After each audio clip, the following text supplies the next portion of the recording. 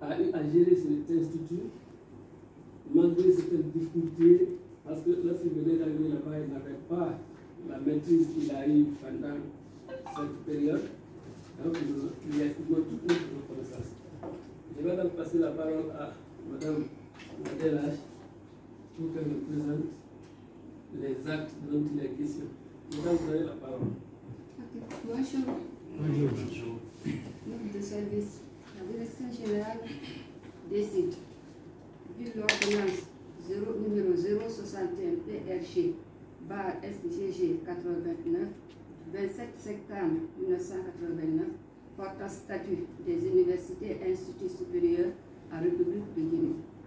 Vu l'arrêté numéro 4080 du MERS CAB DNSEUP de 2005 portant création de l'Institut supérieur de l'information et de la communication physique de Kountia.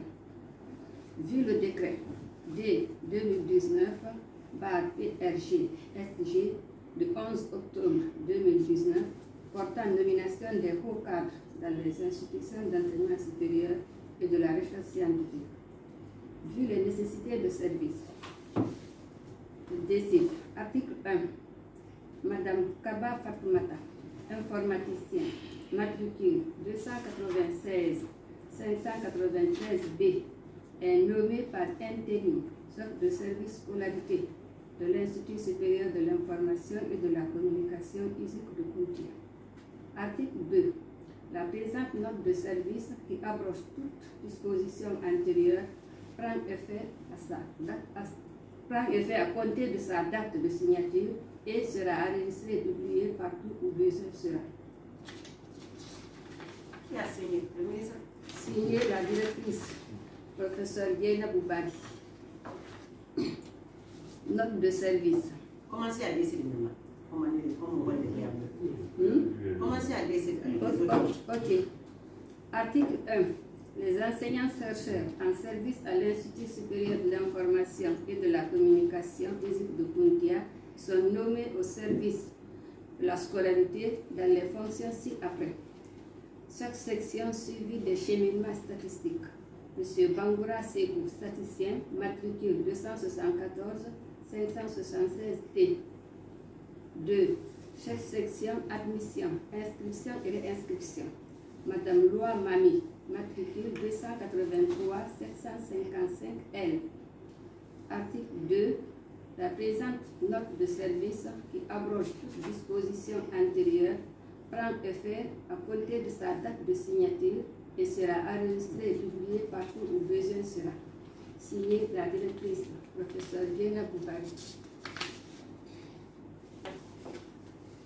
Décision. Article numéro 1. Monsieur Maurice Zoumaniki, enseignant-chercheur, matricule 249 291 T, est nommé chef service adjoint des sports, des arts et de la culture de l'Institut supérieur de l'information et de la communication physique de Kuntia. Article 2. La présente note de service qui approche toute disposition antérieure prend effet à compter de sa date de signature et abroge toute disposition antérieure sera enregistrée et publiée partout où besoin sera. La directrice générale, professeur Diana Boubari. Merci de Madame Madelache, nous avons suivi avec une attention réelle les actes qui les noient.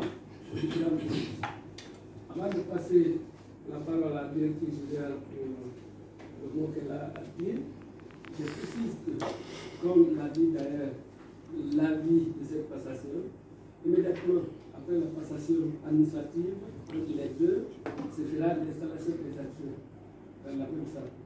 Après que nous voulons installer Mme Kaba dans ses nouvelles fonctions et c'est à partir de là que la passation technique va se faire au niveau de la scolarité. Madame la directrice, je passe la parole pour vous. Bon, je ne vais pas faire des majestés. Le maître de cérémonie a parlé, on se prie à ça. Si on a des petits commentaires pour féliciter les premiers et remercier les sortants, mots. On va passer la parole.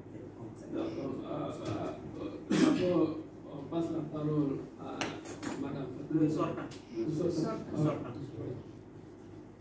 se prie à la. Merci beaucoup. directrice générale, Messieurs les directeurs généraux adjoints, Monsieur le secrétaire général par intérim, Monsieur le chef de département, Mesdames et Messieurs les membres des services administratifs et d'appui, chers collègues enseignants, très chers parents, amis et invités, Mesdames et Messieurs, tout protocole respecté, je commencerai par rendre grâce au Tout-Puissant Allah pour m'avoir donné la santé et la longévité pour être aujourd'hui avec vous. Ce moment solennel marque une autre phase inoubliable de ma vie professionnelle et administrative grâce à l'attention féconde de mes chefs hiérarchiques. En effet, chaque homme est caractérisé par un destin propre dont le contenu s'affiche à travers le temps. Cette hypothèse sociétale, pour ce qui me concerne aujourd'hui, vendredi 22 janvier 2021, est la passation de service suite à la nomination de mon successeur au service de scolarité. Mes sentiments de profonde reconnaissance vont naturellement à mes parents qui m'ont indiqué le chemin de la vie. Permettez-moi, mesdames et messieurs, d'exprimer mes sincères remerciements et ma profonde gratitude à Madame la directrice générale pour le temps que nous avons passé ensemble. Mesdames et messieurs, le service de la scolarité est un service rattaché au niveau équivalent à celui d'une faculté d'université ou d'un département d'institut supérieur. Il a pour mission la mise en œuvre de la politique éducative de l'institution en matière d'accueil, d'information, d'instruction et réinscription, d'admission et de diplomation de l'étudiant aux différents programmes de formation. Distingués invités, pour accomplir sa mission, il comprend une session accueil et information, une session admission, inscription et réinscription, une session suivie des cheminements. Depuis le 15 avril 2015, j'ai été nommé en tant que chef du dit service après avoir servi à la session suivie des cheminements. Durant cette période, nous avons, dans la collaboration, réalisé quelques activités, dont la mise à jour du fichier de la scolarité, la gestion des notes et des effectifs, la mise à jour des dossiers étudiants, etc. Ces activités réalisées nous ont permis d'avoir une vision claire des tâches qui nous attendaient. Tous ces succès sont à l'actif du personnel de la scolarité. Mesdames et messieurs, je voudrais, en dépit de ces succès, signaler que beaucoup reste à faire, notamment dans la gestion des effectifs. Notre scolarité, à l'image de celle des autres des IS publics, manque de logiciels de gestion des notes et des effectifs, de formation de personnel et de matériel de travail. À mes collaborateurs, dans notre fonctionnement, nous avons pu, avec la décentralisation administrative, produire des résultats en tenant compte des attributions du service. Tout n'a pas été rouge dans la collaboration avec vous. C'est pourquoi je vous demande de me pardonner pour les erreurs commises et moi, à mon tour, de vous pardonner. Je vous demande une franche collaboration avec votre responsable. Mesdames et messieurs, je voudrais remercier vivement mon bien-aimé grand frère Pepe Tavaguez Collier, ancien responsable pour la confiance placée en moi, et papa Maxime pour le renforcement des capacités pédagogiques et administratives. À ma soeur, Madame Fatoumata, qui me succède à ce poste, je voudrais dire merci. Félicitations et bonne chance dans vos nouvelles fonctions. Mesdames et messieurs, chers collaborateurs, parents, à tous et toutes, je vous dis merci. Merci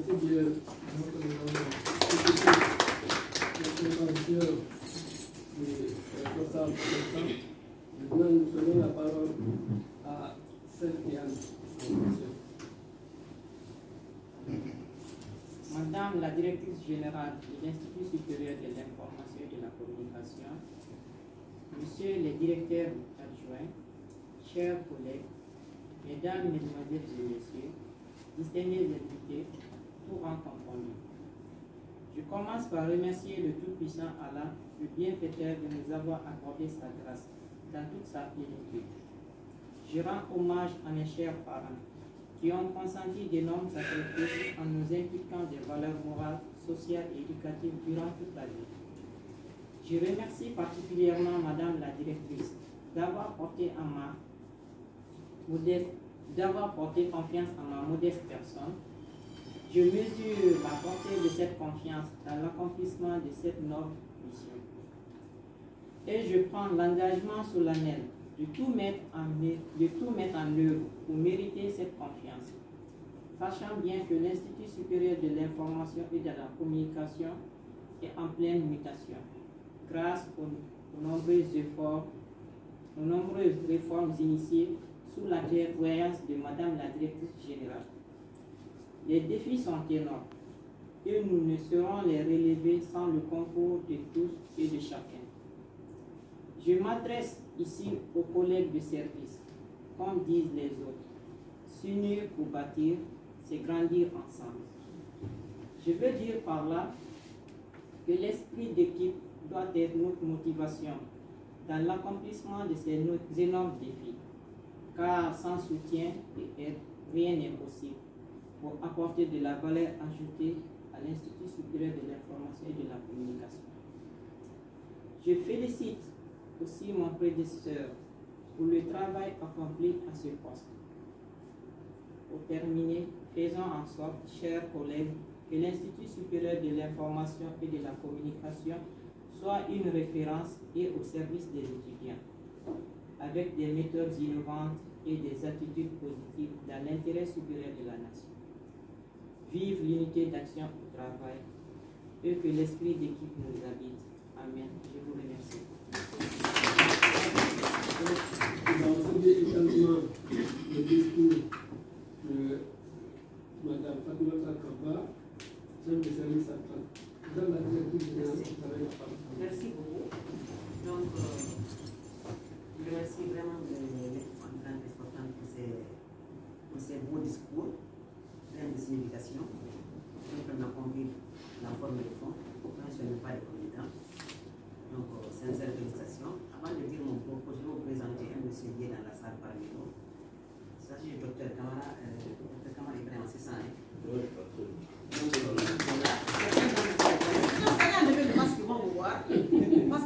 Ne reconnaît pas les gens. Voilà. Vous savez, à l'enseignement supérieur, à part les noms, on se connaît tous de vue. On est une famille. Voilà.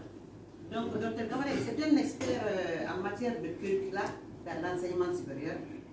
De par sa notoriété et sa longue expérience en matière de la mise en œuvre du LMD dans notre pays, il est là parmi nous pour nous aider à un renforcement de capacité de notre scolarité dans le sens d'une continuité positive, pour inscrire l'ISIC dans le cercle excellent des instituts d'information et de communication en Guinée et pourquoi pas dans la sous-région. Donc c'est extrêmement important, c'est-à-dire que nous faisons cette passation-là dans le sens d'une continuité. On n'invente pas la. Lorsque j'ai pris service dans cet institut, je me suis inscrit dans le sens de la continuité. Lorsque vous venez quelque part, à moins que ce soit un projet de création, on ne prend pas un service sur une table, euh, sur. Il y a toujours des acquis qui sont là, mais il y a des défis à gérer. Donc nous aurons deux experts qui viendront avec nos services de la scolarité pour, pour l'installation des logiciels de dernière génération de gestion des services de scolarité. Pour passer à notre niveau de la scolarité, les, les techniques de dernière généra- génération de recrutement des étudiants, de l'institution des étudiants, pour faire comprendre à notre niveau de la scolarité le sens du LMD, le calcul des notes à, à travers le système de LMD. C'est un calcul technique. Il n'est pas commun qu'à nous. Il est en Guinée, il est dans la sous-région, il est dans le monde. Donc nous voulons que nos services de la scolarité soient formés dans ce sens. Nous allons œuvrer aussi à la sécurisation de nos diplômes, je ne le cache pas. C'est-à-dire chaque fois qu'un diplôme est sécurisé, vous savez, chaque fois que la police invente des méthodes pour attraper les voleurs, les voleurs inventent des méthodes pour échapper à la police. Donc c'est un combat perpétuel. La scolarité a fait beaucoup d'efforts ces derniers temps, je l'ai suivi.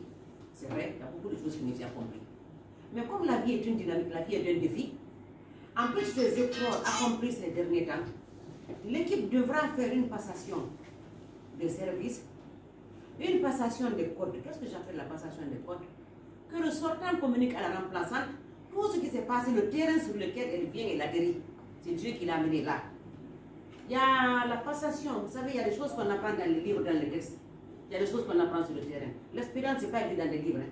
L'expérience, on l'apprend tous les jours. Tous les jours. Donc, c'est de mettre cette expérience à la disposition de savoir que ce n'est pas une Camerounaise, ce n'est pas une Togolaise, ce n'est pas une Ghanéenne qui est venue là, c'est une Guinéenne et c'est une femme cadre comme nous ici. Vous avez fait les mêmes écoles. Vous êtes tous des jeunes, donc je pense qu'il n'y aura même pas un conflit de génération entre vous. Les choses se passeront bien. Moi, j'espère que la machine est déjà unie. Nous apprenons des experts pour nous aider parce que la vie est une question d'expertise. Lorsque nous avons parlé tout dernièrement avec nos communicants, avec la classe de communicants de la quatrième année, on a parlé avec les, journalistes aussi, ils ont demandé de l'expertise. Ils sont de bons anciens à l'ICI, c'est vrai. Ils ont des cours de multimédia, des cours de Photoshop, je ne sais pas quoi encore. Mais ils en demandent plus encore. Parce que, bien que ces enseignants soient là, ils veulent encore autre chose, parce que la technologie avance tous les jours, le monde ne s'arrête pas. Notre président de la République a dit, il n'y a pas longtemps, si nous avons échappé, si, les trois premières révolutions nous ont échappé, nous, devrons nous inscrire dans le cadre de la révolution numérique. On est à l'ère du numérique. Donc tout doit fonctionner par le numérique, c'est extrêmement important. Donc sens- dans ce sens-là que nous invitons des experts à service de, de la scolarité pour numériser notre système de scolarité. C'est extrêmement important et ce travail-là ne se fera pas rien qu'à la scolarité. Les chefs du département seront les premiers partenaires à ce changement-là. La direction des études, les directeurs de programme, les étudiants eux-mêmes, c'est un service pour nous. Les diplômes sécurisés, c'est extrêmement important. Donc voilà pourquoi ces experts que vous allez voir ici, là, viennent pour apporter ce changement. Pour qu'aujourd'hui, vous savez, il y a le privé qui est en train de créer des instituts d'information et de communication. Vous avez suivi les publicités à la télé.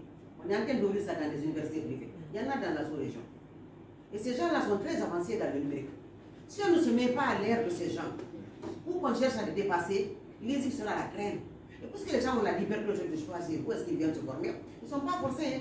Même les étudiants qu'on nous envoie, c'est le 26, ils Ah, moi, là, je préfère aller à Kofi ou à l'UNC quelque part pour faire communication. Donc, nous devons nous adapter à notre temps. Donc, ces experts-là seront là pour ça. Notre scolarité, notre pédagogie doit passer à l'ère du numérique, c'est extrêmement important. L'équipe sortante a des expertises. Ces expertises-là ne seront pas jetées à l'eau. C'est l'ensemble des expertises, la récupération des expertises qui font le développement. Comme on dit, on ne peut pas jeter le bébé avec son eau de bain. Il a bien dit, il y a du moins bon, il y a du bon, on cherche l'excellence. Donc c'est pour ça, c'est dans ce cadre-là que vous ai présenté M. Camara qui sera avec une équipe. On va travailler d'arrache-pied, on va aller dans les départements, tout doit être l'ISIC. Il va au niveau de direction, ces gens vont travailler avec la scolarité. Et je dirais même que notre équipe comptable, les- nos financiers, doivent profiter de ça aussi. Tout est numérisé aujourd'hui. On n'est plus à l'ère de la paperasse là. Des papiers par-ci, par-là, ramasser ça sur sa tête, ton bureau est rempli. En un clic, tu ouvres déjà ton institution en. En un clic, même si on doit demander, je voudrais que dans six mois, même si on demande à Mme Kaba, la situation des notes d'étudiants de la troisième année A+, en un clic, elle doit nous ça. Si on demande par exemple, il y a combien d'étudiants qui ont été diplômés les trois dernières années, puisque l'administration est une conductivité, elle doit pouvoir répondre. Il y a combien de filles, il y a combien de garçons, en un clic, elle doit répondre. Elle n'a plus besoin de chercher les papyrasses par-ci, par-là, à Ouarjo. Non, nous voulons de l'expertise dans notre scolarité. Et ce n'est pas un choix fortuit. Madame Kaba est diplômée de l'université Gamal Abdel Nasser du centre informatique. Le Gamal, nous avons, nous avons, nous avons, nous- nous avons fait notre enquête, on ne nomme pas quelqu'un comme ça, n'importe, c'est pas fortuit. Je me dis qu'elle est dans son élément. Monsieur Sekou Bangoura, qui va occuper le poste de statistique, est diplômé de l'université de l'Abbé, c'est un statisticien confirmé. Il a un peu aidé un chef de département ici comme euh, remplaçant de directeur en attendant, intervenir de directeur de programme. Je me dis que M. Bangoura sera dans son élément. Madame Mami, pour une expertise de plusieurs années dans ce service-là, elle n'est pas doyenne par l'âge, mais sera une doyennes. Je compte sur leur participation pour la mise en pied de ce service-là. Et si vous le faites, vous ne le ferez pas pour la directrice, vous ne le ferez pas pour la direction, vous le ferez pour votre enseignement supérieur, vous le ferez pour votre pays. Tout simplement. Nous sommes là aujourd'hui, demain on ne sera pas là. Mais nous serons fiers d'avoir laissé l'excellence derrière nous avant de partir. Ça, c'est extrêmement important. Donc je compte sur tout le monde, sur la collaboration de tout le monde. Si cette équipe-là gagne, nous avons gagné. Si elle ne gagne pas, nous avons perdu. C'est dommage que Dieu nous en garde du chemin de la perdition, que Dieu nous garde du chemin de l'obscurité, qu'il nous sauve de ça. Donc c'est extrêmement important. Et les pédagogues qui sont là, et les contractuels, et les cadres, et le pôle financier, je demande la collaboration de tout le monde au nom de la direction, au nom du département de l'enseignement supérieur, pour que équipes gagnent à travers le gain de toutes ces équipes. Donc c'est ce que j'avais à dire, parce que là nous allons finir avec la passation administrative. Vu le contexte que nous vivons ici aujourd'hui, nous allons passer à la passation technique. Donc euh, les experts qui viennent auront un ordre de mission que je vais finaliser avec euh, le pôle financier. Le contrôleur financier est là, je l'ai invité de venir dans le cadre euh, de ce travail qui va commencer dans les prochains jours. Donc nous allons passer maintenant, euh, avec votre permission, à la passation technique. Voilà, c'est Oui, ça. mais on passe d'abord à l'installation. À l'installation, l'installation, c'est ça, l'installation. Voilà. Vous avez parlé de contexte. Oui. Dans la directrice Ok. générale. Compte tenu de ce contexte-là, Oui. nous serons maintenant obligés d'aller faire l'installation Oui. de tout ce qui relève de la scolarité. absolument. Donc, euh, Absolument, on va les installer. Si on les installe, on libère l'auditoire, on libère tout le monde. Oui. Chacun va vaquer à ses affaires. Je ne libère pas les anciens musiques. Hein. J'ai dit que si on les installe, on libère la délégation. oui. Il ne faut pas qu'on ait des affaires que vous avez pas fait. Donc, c'est ça. Je vous remercie pour avoir accepté l'invitation.